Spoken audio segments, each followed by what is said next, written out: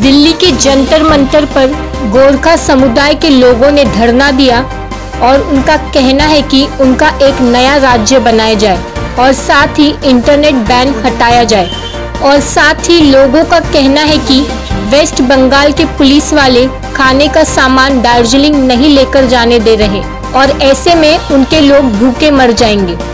Bengal India Gorkhaland को मर्ज कर दिया गया था। क्योंकि उस टाइम पे जो सर्वे जब लिया गया था कि किस किस किस लैंग्वेज में की बेसिस पे यहाँ पे लोग रहते हैं, तब उनके पास इनकरेक्ट सर्वे था, उनके पास सही आंकड़ा नहीं था, क्योंकि उन्होंने हमारे सब स्टेट्स को भी डिफरेंट डिफरेंट स्टेट्स दिखा के, ये दिखाया था कि नेपाल यहाँ पे माइनॉरिटीज है। इसी वजह से आज के दिन में इंडिया में वेस्ट बंगाल के अंदर आता है दार्जिलिंग। जबकि हम टेक्निकली अगर आप बोलोगे in terms of language culturally हम बहुत डिफरेंट है from Bengal we are more closer to the north eastern अगर आप हमारे नेपाली किसी भी बाजी देख देखोगे तो आप उसको नॉर्थ ईस्टर्न ही बोलोगे लेकिन अनफॉर्चुनेटली अगर अभी हमारा सिचुएशन ये है कि हम ना तो पूरी तरह से बंगाली है, ना तो हम पूरी तरह से नॉर्थ ईस्टर्न बन पाए हैं। लेकिन हम है इंडियन और हमारी जो इंडियन आइडेंटिटी है, इसी की वजह से हम चाहते कि आप हमको एक सेपरेट स्टेट दो। वेस्ट बंगाल से डी मर्ज करके it's not a separate state by separating from West Bengal it just demerge जो मर्जर हुआ था, वो गलत हुआ। ठीक है? तो यहाँ पे जो आज अनसन बैठे हैं, हम संडे से हैं।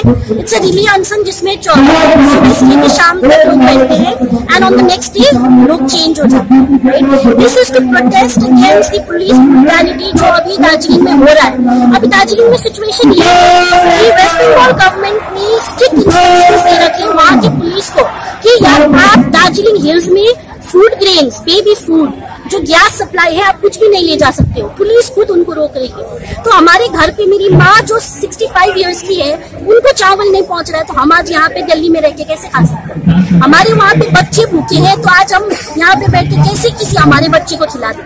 इसी चीज़ के अगेंस्ट में ये अनसन हम बैठे हैं। हमारा major demand Gorkhaland as a separate state है, लेकिन अभी के हाल में हम चाहते हैं कि आपने जो इंटरनेट बैंड लगा रखा है ब्लैंकेट बैंड जो इंटरनेट का लगा रखा है आप उसको हटा दीजिए, क्योंकि हमारे बच्चों का अभी एडमिशन पीरियड है और वो वहाँ पे स्ट्राइक की वजह से दार्जिलिंग से निकल भी नहीं पा रहे तो उनका पूरा साल खत्म हो जाता है। एक बच्चे को अगर एक साल की गैप आ जाती है पढ़ाई में, अगले साल एडमिशन करने में उसको एक्सप्लेनेशन देते देते उसका एडमिशन टाइम निकल जाता है। तो एक बंदे का तो करियर लाइफ आप बर्बाद कर रहे हो ना, जो कि आज पढ़ना चाहिए उस बंदे को।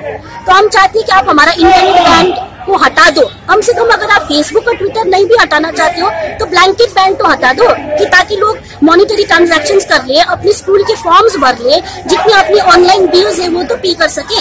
अभी हम अगर डिजिटल इंडिया की बात करते हैं तो दार्जिलिंग में कहाँ है डिजिटल इंडिया थर्टी डेज़ हो गया दार्जिलिंग में अभी इंटरनेट नहीं चल thirty four days in fact internet नहीं चल रहा है। आप लोग हमें राशन नहीं लेके जाना, लेके जाने दे रहे हो पुलिस रोक रहा है। जबकि फ़ूड एक्ट के अंतर्गत हर इंसान जो इंडिया में रहता है, उसको अन्न और राशन मिलना चाहिए।